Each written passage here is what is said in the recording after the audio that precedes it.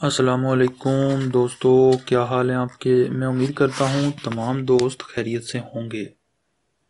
तो चलते हैं दोस्तों, आज के रिश्ते की तरफ़। इससे पहले हमारी छोटी सी गुजारिश है, हमारे चैनल को सब्सक्राइब कर दें और बेल के आइकॉन को भी तबाह दिया करें, ताकि हमारी आने वाली हर नई से नई वीडियो का नोटिफिकेशन आप तक आसानी से पहुँच जाए। दोस्तों, ये जो खातून है जिनका रिश्ता मैं आपके लिए आज लेकर आया हूँ, इनका नाम है नबीला बीबी। तो नबीला बीबी जो है, हमारी बहन है, इनकी जो उम्र है इस वक्त, वो फोर्टी फाइव ईयर यानी कि पैंतालीस साल है और ये एक तलाक याफ्ता खातून है। चार साल का अरसा हो गया है, तकरीबन शोहर से अलहदा हुए।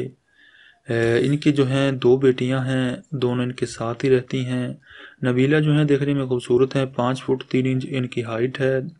वाइट कलर है, sixty two K G weight है। तालीम जो है इनकी वो मैट्रिक है।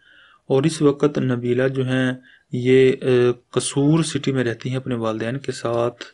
मुसलमान हैं, फ़िरका सुन्नी है और इनकी जो कास्ट है, ये राजपूत बरदरी से ताल्लुक़ रखती हैं। तो इसके अलावा जो है, अच्छी फैमिली से हैं, तीन भाई हैं इनके, दो बहनें हैं, इनके अलावा यानी कि जो कि शादीशुदा हैं। तो अभी जो है, इनके वालदेन ये चाहते हैं कि अपनी इस बेटी की दोबारा से शादी कर दें।